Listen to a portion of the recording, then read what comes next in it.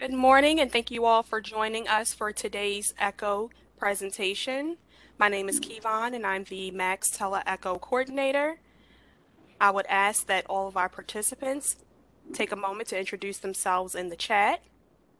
And I will ask our MACS consultant, Dr. Bethany DiPaula, to introduce herself to the group.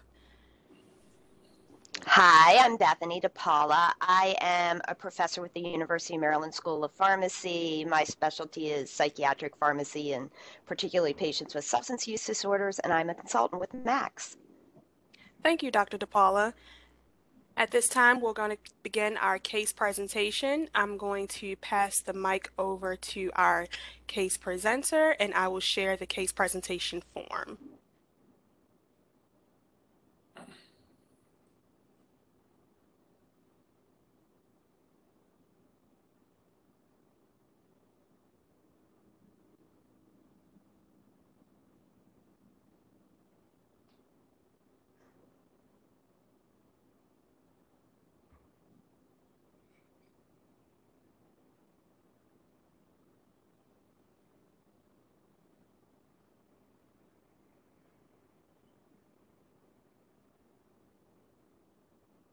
So at this time, we're going to begin with our case presentation form. I'm going to mute myself, and whenever you're ready, you may take over.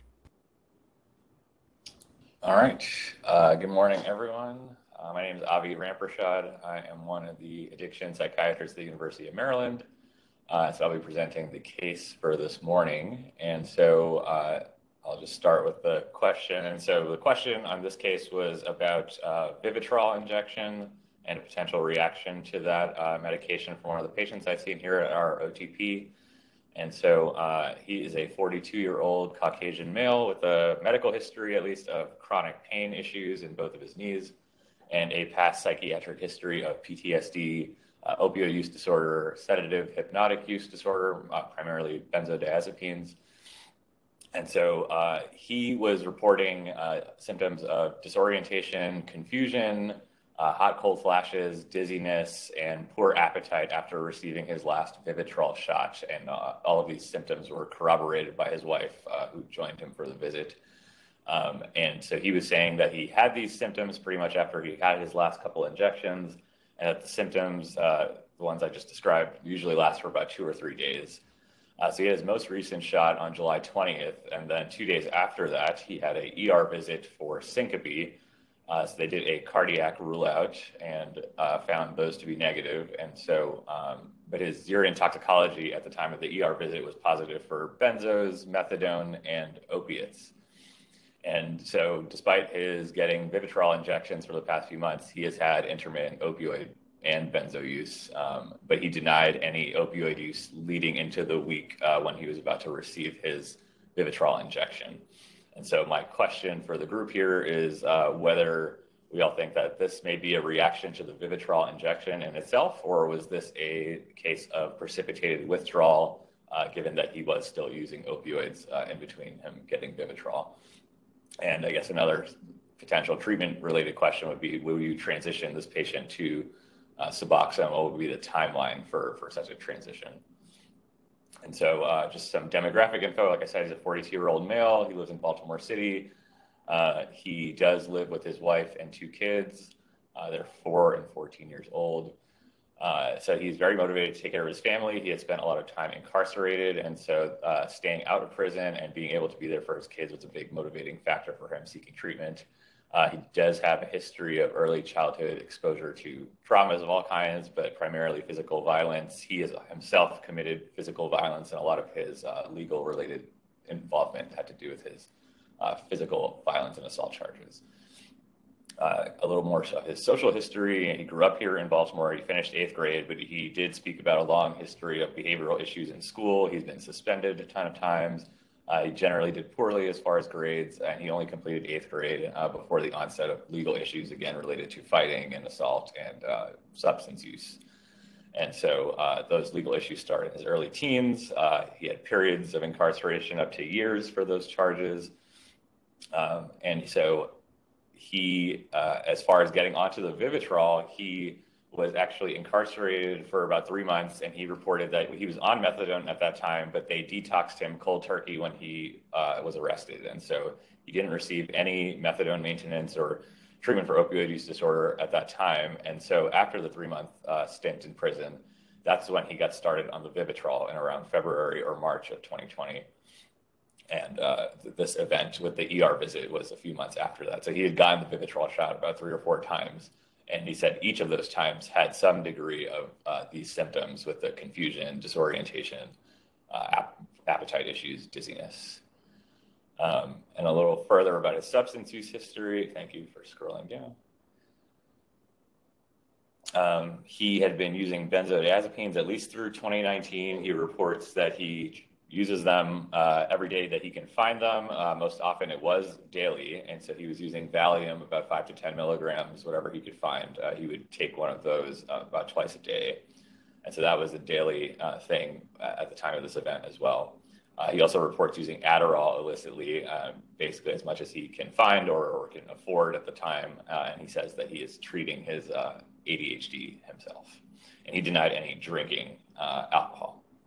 And so uh, we mentioned his diagnoses opioid use disorder, benzo use disorder, PTSD, along with depression and anxiety. And there were concerns again about his ADHD and potential antisocial personality disorder given his behaviors. And so he was uh, being seen here for uh, treatment for his opioid use and benzo use. He was also getting ongoing uh, psychotherapy and was attending groups uh, at some point before COVID disrupted that. Um, again, his, his urine toxicology from that ER visit uh, a few days after his shot was positive for methadone, opiates, and benzos. So there's a possibility that uh, he was also taking methadone at some point while getting the Vivitrol. Um, as far as the PDMP or prescription drug monitoring program, uh, it showed that actually a few days after this ER visit that he was started on Suboxone. It was about a week later, I believe, by his primary care or another provider, uh, but someone who he had not had a long-standing relationship with. And uh, it also found that there was uh, uh, some short benzo scripts uh, for a Valium taper sometime in 2019, indicating that maybe he was treated for benzo withdrawal. Scroll down, please. All right. Um, so again, yeah, his goals, uh, like I mentioned before, were to stay out of prison and to be there for his young kids. Uh, I spoke a lot about his own parents not being there for him, and so that was a big uh, motivating factor for him joining treatment and coming here to be seen. Um, he wanted to get back to work once COVID had uh, resolved, which we are still dealing with. Uh, so that has not happened as yet and also just wanting to remain abstinent and to get better control of his anger and moods, which he felt drove a lot of his substance use. And so, um, you know, he did end up getting started on Suboxone by this outside provider after the ER visit. And so we were still kind of unclear about what that syncope or what that presentation was about. Was it potentially related to the Vivitrol itself, or was it a uh, precipitated withdrawal situation? Maybe it had to do with his benzo use as well. Uh, in any case, he felt that after the few times of getting it and having those symptoms, that he no longer wanted to stay on the Vivitrol because of that, and was hoping to be able to continue with Suboxone. And as far as other medications that he takes, he was also taking Seroquel uh, at night for sleep and duloxetine uh, for his mood and also for his chronic pain issues. That is the case. Well, thank you very much, Avi. Really appreciate that. At this time, I am going to open the floor for clarifying questions from our learning community. So please feel free to come off of mute and uh, state your question, and Avi will answer to the best of his ability if it's information that he does have. And clarif- clarifying questions can be anything that was on the form that you need additional information about, or any information that you'd like to know that did not quite make it onto the form. So at this time, please unmute uh, and ask your question. Hi, good morning. My name is Christina Ferrante and I work at MACS. My question is What degree of sedative hypnotic use disorder does the patient have, and what types of withdrawal has he had from in I'm sorry in the past from benzos? Yeah, uh, that's a great question. And so, as far as he reported to us, um, he was taking Valium, at least in the period leading up to this. Uh, he was taking them every day, about five to 10 milligrams twice a day. Uh, it was based on basically how much he could find or how much he could afford. Um, and so, uh, as far as withdrawal from benzos, uh, he did report that he's had shakes and tremors in the past. Um, I don't believe that he's had withdrawal seizures, um, but he, you know, did have that uh, Valium taper prescribed to him, and so maybe he had sought treatment for benzo withdrawal in the past, or maybe he was seen for something else and was treated for that incidentally, and so he has had some mild withdrawal, I guess I'll say, but I'm not sure about something further than that. Thank you. Hi, I'm Thomas. Were there any additional questions? Yeah, I'm Thomas Cole, and I'm from the University of Maryland. Um, uh, were there other side effects in the past from Vivitrol? Um, aside from these, not that he mentioned, he did uh, complain a lot about the soreness after the injection, and he felt like there was a lump stuck in there for a few days afterwards, and so uh, he, he, complained about the pain after the shot for a bit. But this, uh, these symptoms that lasted for the couple days uh, seemed to be his main complaint with that.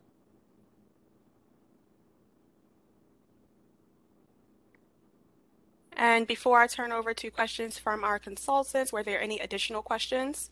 Hi, yes. Um, I'm Anna. I'm with a rural practice out in um, Washington County. I have a question. Um, what type of psychotherapy or non-medication treatments have been tried or used?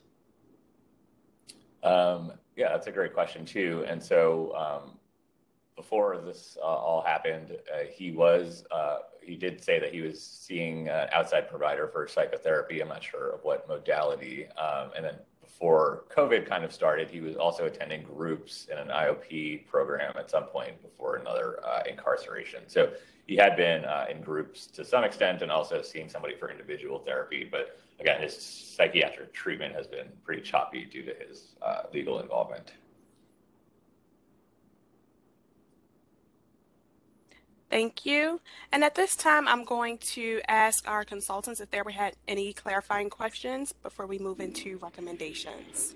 I do have a couple of questions for you. Um, first, I'm wondering from an efficacy standpoint, obviously, he was still using opioids in conjunction with the naltrexone. Um, did he say that the naltrexone was beneficial as far as relieving craving? W- were there any good outcomes from the naltrexone? Um, so I believe, like, it seemed that when he started the Vivitrol was a very sudden thing after his incarceration, and so they kind of ripped him off the methadone very quickly and got him onto that. So I'm not sure uh, how much, I guess, buy-in he had around that. He did feel like it helped with cravings, at least initially, maybe for the first couple months, and I think his enthusiasm kind of waned uh, with the side effects he was having. And he's on buprenorphine now. That was started by another provider. Is that right? Yes, around one week after this uh, visit what dose is he currently on and have you had an opportunity to talk to him about benefits with the buprenorphine so far uh, I think at the time he was on eight milligrams twice a day, um, and he did feel like that was helping the cravings a little bit more. He felt like he wasn't seeking opioids as much as he was uh, with the Vivitrol. Um. And then the other question I had was with um, his psychiatric symptoms, it, it, seems like from the case description that anger and mood is somewhat of a trigger for him. And I'm wondering um, where you think he is as far as benefiting from his current psychotropics, the Seroquel 100, and and thoughts around what else they've tried um, for managing his medications. Yeah, um, and so the anger piece was definitely a big component for him. Uh, he also reported using opioids and benzos really to calm down anger that he would have for a variety of situations. And so um, I believe that the Seroquel was actually a little bit on the lower side of the dosing, and I think the Cymbalta, the duloxetine, also was uh, not fully maximized. And so we were hoping to kind of increase those or help with insomnia, help see if we could like deal with the mood a little bit better, get under better control, so we don't have the same drivers to to seek other drugs. Okay, um, there was also consideration for using Adderall uh, to treat his seemingly ADHD. evident ADHD. although he clearly has, it sounds like childhood history and Mhm. pattern consistent. So yeah, thank you. So at this time, I'm going to open the floor for our learning community to provide our presenter with any recommendations uh, based off of the case form, as well as any clarifying questions that were asked and answered. So please feel free to come off mute and offer any recommendations or comments that you may have. I would say that uh, if this was a reaction to Vivitrol, to consider switching to Suboxone or Methadone if naltrexone was intolerable.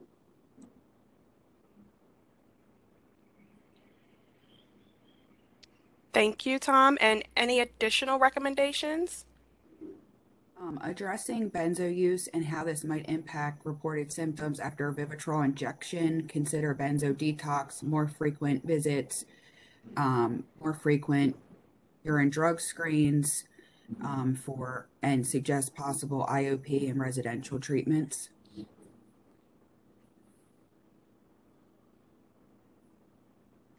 Thank you. And before I move on to uh, recommendations from our consultant, Dr. DiPaula, were there any additional?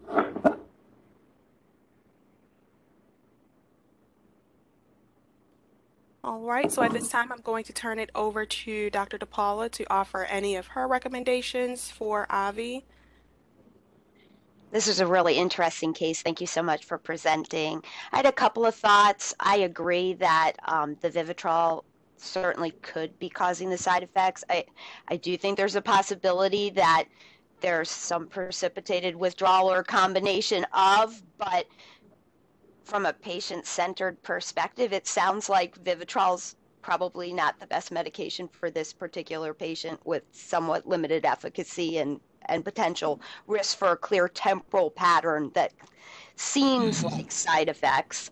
Um, I also was thinking, and we kind of already talked about, um, that we probably want to optimize the psychotropics, particularly Seroquel, or finding another mood stabilizer um, to manage PTSD symptoms and manage possibly some of the, the mood instability.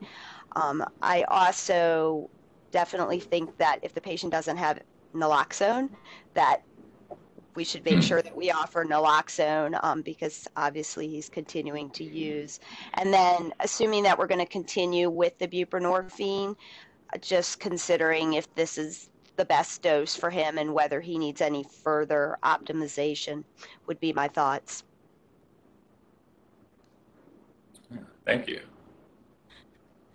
Thank you, Dr. DiPaula. Really appreciate it. And were there any other thoughts or comments before we wrap up the case discussion?